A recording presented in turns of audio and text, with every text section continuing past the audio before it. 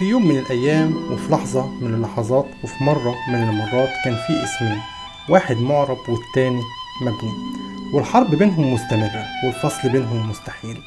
المبني ثابت في النهاية والنطق واحد هذا حاكم عادل. سلمت على هذا الصديق رأيت هذا الرجل في الطريق والمعرب حالاته بتتغير ما بين الرفع مرة والنصب مرة والجر مرة. ممكن يبقى فاعل زي إيه؟ محمد رجل عادل. وسلمت على صديقي عادل ورأيت حاتم في الحديقة. ولما نرجع للمبني يبني المبني بيكون ستة والسابع ملوش مكان. يلا like و share. تحت على اليمين في زر اشتراك في القناة. نضغط عليه ويلا تابع الشرح عشان نعرف بقية الحكاية. نعرف أول حاجة الفرق بين الاسم المعرب والاسم المبني. ده درس المعرب والمبني من الأسماء. زي ما تعودنا مع بعض عشان نبدأ أي درس نعرف السؤال بيجي إزاي وكل الأمثلة بتاعتنا هتبقى عبارة عن أسئلة. طب كيف يأتي السؤال؟ يجي لك في الامتحان يقول لك استخرج اسما معربا وآخر مبنيا ولكن يجي يقول لك مع ذكر السبب. نبدأ كده ونعرف واحدة واحدة إيه هي الأسماء المعربة وإيه إيه هي الأسماء المبنية ويعني إيه اسم معرب ويعني إيه اسم مبني. لاحظ الثلاث أمثلة اللي هحطهم لك دلوقتي زي هذا عالم عابد سلمت على هذا الصديق رأيت هذا الطالب في المدرسة. في ثلاث كلمات في ثلاث جمل هذا فوق في أول مثال لما نيجي نعرب هذا هتلاقي إن هي المفروض تبقى مبتدأ مرفوع بالضم أو هنعرف كمان شوية إن هو اسم إشارة مبني في محل رفع مبتدأ. طب يا مستر وأنت بتقول هذا أنا ما سمعتش الضمة في الآخر. تمام؟ طب بص على اللي جاية دي عشان تتأكد كمان مرة. سلمت على هذا. هذا هنا جاية قبلها حرف جر فالمفروض إن هي تبقى اسم مجرور. برضو يا مستر وأنت بتقول هذا أنا سمعت نفس النطق اللي فوق ما لقيتش كسرة تحت الألف.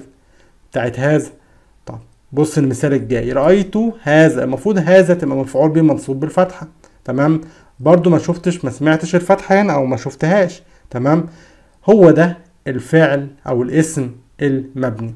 الاسم المبني إن آخر حرف بيكون ثابت سواء جه مرفوع زي أول مثال أو جه مجرور زي تاني مثال أو جه منصوب زي تالت مثال. طب لما نيجي نبص إحنا لاحظنا هنا إن النطق أو ثبوت النطق في إن في آه كلمة هذا في الثلاث أمثلة رغم إن الثلاث أمثلة هذا مختلفين في إيه؟ في الإعراب. من هنا هنخش على الأسماء المبنية. يبقى أنا عرفتكم الأسماء المبنية معناه هو ثبات نطق الحرف الأخير مع اختلاف آه إعرابه سواء كان مرفوع أو منصوب أو مجرور الإعراب أو النطق بيكون واحد. طب السؤال إزاي استخرج اسم مبني؟ إحنا عندنا في ست أنواع من الأسماء المبنية. إيه هما الست دول؟ طبعا غير الستة هيكون معرب. معرب يعني تدور على فاعل مرفوع بالضمة تدور على كلمة ظاهرة زي المعلم زي المدرسة زي طالب أي كلمة من الأسماء اللي أنت هتشوفها في القطعة. غير كده بيكون آه كل ده بنسميه إيه؟ معرب.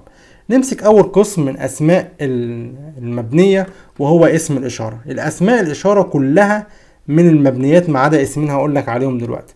يعني هذا هذه هؤلاء كل ده اسمه مبني. يبقى أنا لو طلب مني اسم طلع اسم آه مبني هدور على اسم إشارة من اللي موجودين قدامك سواء كانت هذا أو هذه أو هؤلاء أو ذلك وتلك وأولئك. وركز في دول جدا اللي تحت ذلك وتلك وأولئك. عشان في ناس كتير غايبة عنها أو مش عارفينها زي اللي فوق وبتيجي كتير في الامتحان. طب كل أسماء الاشارة مبنية؟ لأ في اتنين مش مبنيين بيترفعوا عادي زي هذان وهاتان. بيترفعوا هنا بالألف وممكن يقول لك هذين أو هاتين تبقى منصوبة أو مجرورة بالياء. يبقى كل أسماء الاشارة مبنية لو طلب مني اسم مبني هدور على أي اسم إشارة ما عدا هذان وهاتان. طب لما نيجي نبص على الإعراب هنعربه إزاي؟ هذا مثال أهو قدامك هذا عالم المستقبل. هذا ده اسم إشارة والاسم يعني جملة اسمية المفروض بتتكون من مبتدأ وخبر. هل هنا هقول على هذا دي مبتدأ مرفوع بالضمة؟ لا إحنا كبرنا دلوقتي مش هيبقى مبتدأ مرفوع بالضمة. أمال أعربه إزاي؟ هو ده درس النهارده. لما نيجي نعرب هذا كده هقول عليها اسم إشارة. أول حاجة بعرفه إن هي اسم إيه؟ اسم إشارة. تمام؟ يبقى أول حاجة عرفت له إن ده اسم إشارة. وأنا لسه عارف إن اسم الإشارة ده على طول بيكون مبني. يبقى أقول اسم إشارة مبني. بدل ما أقول اسم إشارة مبني مبت- مبتدأ مرفوع بالضمة طبعا مش هينفع مش لايقة. فبقول اسم إشارة مبني فين؟ في المحل. مبني في محل إيه؟ رفع مبتدأ. بدل ما أقول مبتدأ مرفوع بقول رفع مبتدأ. يبقى الموضوع سهل جدا. أنا بعربه عادي مبتدأ مرفوع بالضمة ولكن لما أجي أكتب الإعراب المظبوط بقى بعرفه له الأول بقول إن هو ده اسمه اسم إشارة والاسم الإشارة ده بيكون مبني على طول وبدل ما أقول له مرفوع بالضمة لا أقول له في محل رفع مبتدأ. مثال تاني عشان ما أفهمش من المثال الأول. رأيت ذلك الرجل في نهاية الشارع. فين اسم الإشارة هنا؟ أو فين الاسم المبني؟ آه سامع حد بيقول لي إيه؟ ذلك ممتاز ذلك ده اسم إشارة. طب لما نيجي نعربه المفروض رأيت التاء تاء الفاعل وراء فعل ماضي. رأيت مين؟ ذلك ده أو رأيت الراجل ده ذلك. يعني ذلك دي المفروض تبقى مفعول به. هل لما أجي أعربها أقول عليها مفعول به منصوب بالفتحة؟ خطأ. الدرس ده واخدينه عشان نعرف نعرف, نعرب مظبوط. ذلك هنا اسم إشارة. بعرفه له الأول. واسم الإشارة عارفين إن هو مبني. يبقى اسم إشارة مبني في محل. بدل ما كنت بقول له مفعول به منصوب بالفتحة لا هشقلب بقى. هقول له في محل نصب مفعول به. بدل ما أقول مفعول به منصوب لا في محل نصب مفعول به. يبقى ذلك اسم إشارة مبني في محل نصب مفعول به. مثال تاني على الجر. سلمت على هذه الفتاة. هذه لما نيجي انت بقى اللي هتشتغل معايا أنا قلت لك مثالين. هذه اتفقنا اول حاجة بنعرفه بنقول له ده اسم إيه؟ إشارة. ممتاز. طب المفروض لو كانت كلمة عادية كنت أقول عليه اسم اسم مجرور وعلامة جرور كسرة. لا هنا بقى مش كلمة عادية ده اسم مبني. فبقول له إيه؟ اسم إشارة مبني في محل جر اسم. بدل ما بقول اسم مجرور لا في محل جر إيه؟ اسم. دي أول حاجة من الأسماء المبنية وهو اسم الإشارة. تاني حاجة بدور عليها في الامتحان بدور على الأسماء الموصولة. زي إيه؟ زي الذي زي التي زي الذين زي اللائي زي اللاتي. الأسماء الموصولة كلها مالها مبنية ما عدا حاجتين. إيه هما الحاجتين دول؟ اللذان واللتان. فاكرين هذان وهاتان في أسماء الإشارة؟ اللذان واللتان برضو بيعربان إعراب المثنى. يعني إيه؟ لو كانت آخرها ألف ونون وألف ونون زي اللذان واللتان هتبقى مرفوعة بالألف لكن لو كان آخرها ياء ونون تمام؟ هتبقى منصوبة أو مجرورة بالياء حسب نوع أو حسب الجملة اللي قدامي. طب مثال الذي يقول الحق قليل في هذا المكان. يعني اللي بيقول الحق قليل جدا في الزمن ده في هذا الزمن طب الذي دي اسم والاسم يعني دي جملة اسمية بتتكون من مبتدأ وخبر.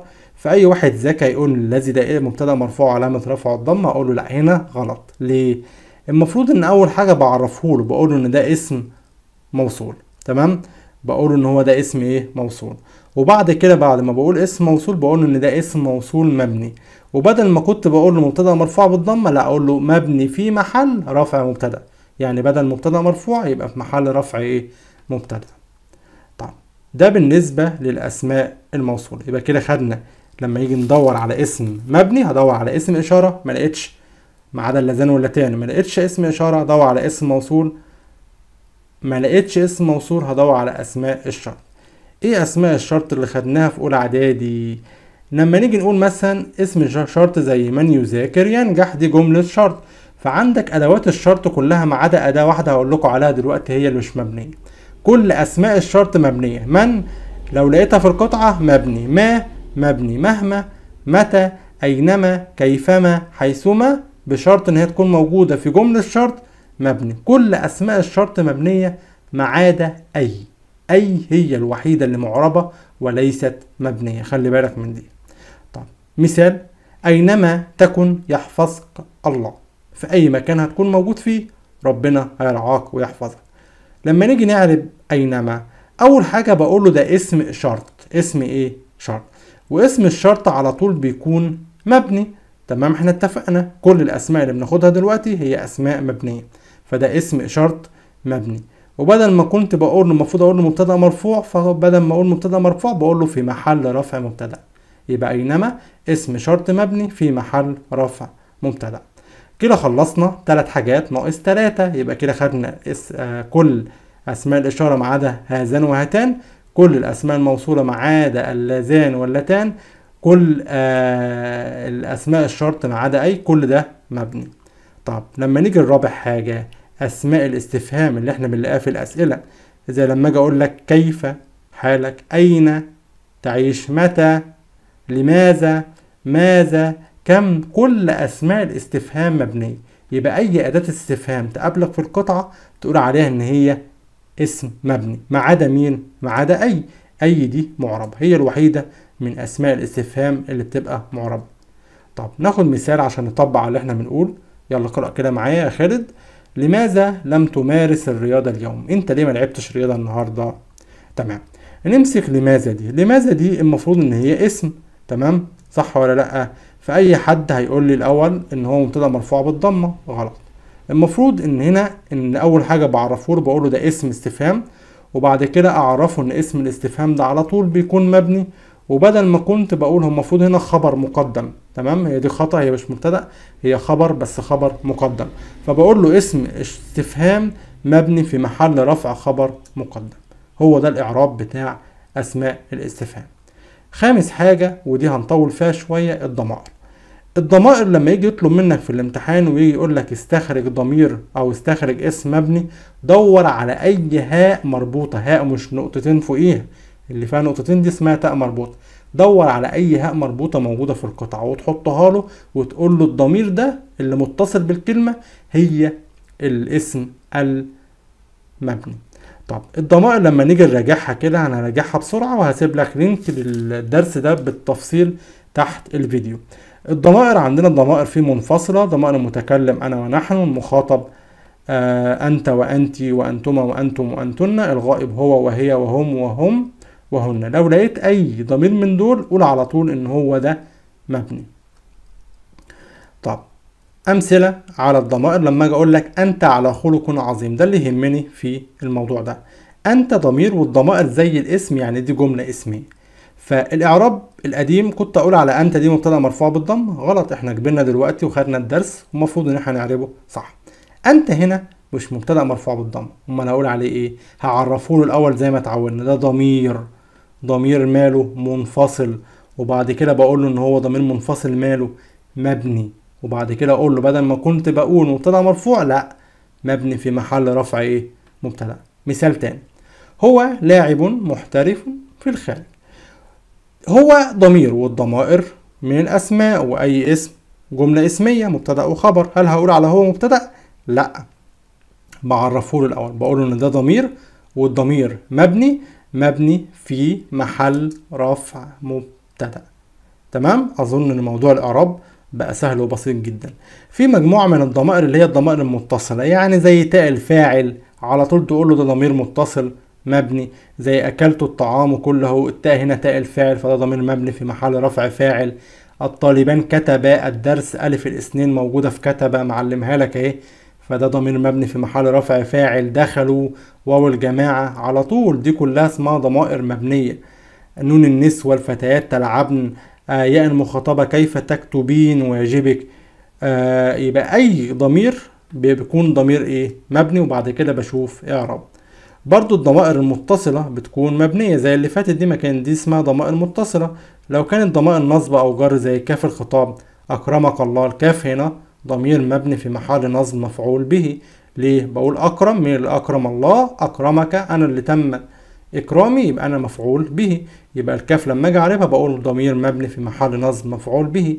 برضو هاء الغيبة من الضمائر المبنية. علمته النحو. الهاء هنا أنا اللي تم تعليمي والمدرس هو اللي علمني يبقى أنا مفعول به. المفروض هقول عليها مفعول به؟ لا إحنا عرفنا خلاص. بقول عليها ضمير مبني في محل نصب مفعول به. نفس الأمر في ياء المتكلم. ساعدني أخي. الياء هنا اسمها ياء المتكلم. عايدة عليا أنا أنا اللي تم أخويا هو اللي ساعدني يعني أنا المفعول به. فياء المتكلم هنا ضمير مبني في محل نصب مفعول به. آه برضو عندنا لك الخير كله لك في كاف وقبلها اللام حرف جر. فما ينفعش أقول الكاف اسم مجرور لا بقول له ضمير مبني في محل جر اسم. آه برضو عندنا له الكون كله كلمة كله فيها الغيبة موجودة في الآخر. وأي اسم أي ضمير مرتبط باسم يبقى ضمير مبني في محل جر مضاف إليه. قاعدة ثابتة كده. أي ضمير متصل باسم يبقى ضمير مبني في محل جر مضاف إليه. ملحوظة في الضمائر أي ضمير متصل باسم لسه مأكد عليها دلوقتي ضمير مبني في محل جر مضاف إيه إليه. كده خلصنا خمس حاجات من الأسماء المبنية. ناقص حاجة واحدة بس بعض الظروف. هم بالظبط حوالي آه أربعة. تمام؟ أربعة أو خمسة. نمسك أول واحد حيث. هم معدودين على صوابع إيدك يعني هم مفيش غيرهم. حيث ده اسمه ظرف والظرف ده مبني. حيث بس مش أي ظرف محدش يقول لي أمام وفوق وتحت ويقول لي ده ظرف مبني. لا الظروف دي كلها منصوبة مش مبنية. فحيث ده ظرف مبني. مبني على إيه؟ وأنا بنطق بقول حيث. في ضمة في الآخر يبقى ده ضمير أو ظرف مبني على الضم. إحنا بنحكم على إعراب أو حركة آخر حرف. منذ برضو ده ظرف مبني على الضم إن آخر حركة ضمة. طب إيه تاني؟ يبقى كده حيث ومنذ أمسي هنا ظرف مبني على الكسر. عرفت إزاي إن آخر حركة كسرة؟ إيه تاني؟ هناك هنا ظرف مبني على الفتح. عرفت إزاي إن آخر حركة فتحة؟ قبل. قبل ده ساعات بيجي معرب وساعات بيجي مبني حسب نوع الجملة اللي قدامك. تمام؟ وعندنا كمان في ظرف زي إيه؟ الآن بيبقى ظرف مبني على الفتح. ده كده باختصار شديد أو ده الدرس بتاع الأسماء المبنية. يبقى خلاصة القول لما نيجي يطلع يجي يقول لك هات اسم معرب دور على أي اسم أنت أعربته في الجملة سواء كان فاعل أو مفعول أو خبر أو مبتدأ بس يكون اسم ظاهر زي محمد زي أحمد زي الطالب زي المعلم زي كرسي أي اسم عادي غير الأسماء الستة. قال لك دور على اسم آه معرب اسم مبني يبقى هتدور على أي ضمير دي أول حاجة تدور عليها. ما لقيتش ضمير هتدور على اسم إشارة ما عدا اللذان واللتان أو هتدور على اسم موصول ما عدا آه، أو هتدور على اسم موصول أو هتدور على بعض الظروف أو الضمائر أو الحاجات الستة اللي إحنا قلنا عليهم. أتمنى إن أنا تكون وصلت المعلومة بشكل موجز وبسيط. آه، دي قناة حكاوي النحو. يا ريت قبل ما نمشي سبسكرايب ولايك وشير ولايك وشير للقناة عشان نوصل لكل الناس. آه، كان معاكم مستر عبد الرازق الشاعر ودي قناة حكاوي النحو والسلام عليكم ورحمة الله وبركاته.